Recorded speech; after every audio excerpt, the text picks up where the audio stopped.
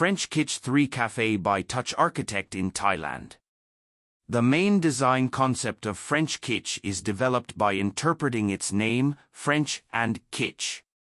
Apart from being a specialized French patisserie, the owner's love for French bulldogs also comes as a brand identity, portraying a playful yet elegant image of the cafe.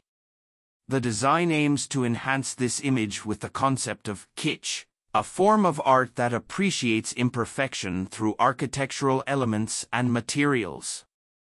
The French cathedral is a primary reference to the design where rhythmic arches are developed. Instead of symmetrical arches, imperfect arches of different scales are used.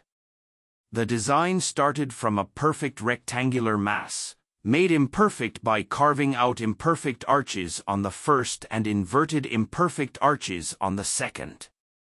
On the first floor, these arches embrace visitors with their antique yet modern looks, creating shadow along the path. And when light passes through the arched window, it creates a reflection on the floor, similar to cathedral glass.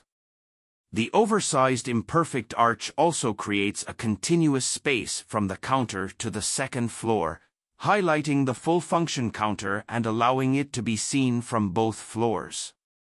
On the second floor, voids are carved into the inverted curves, allowing sunlight to enter. Using textured concrete strengthens the concept of perfection of imperfection where the wall is not completely smooth. Still, it reflects the authenticity of the material, which can be beautiful by itself.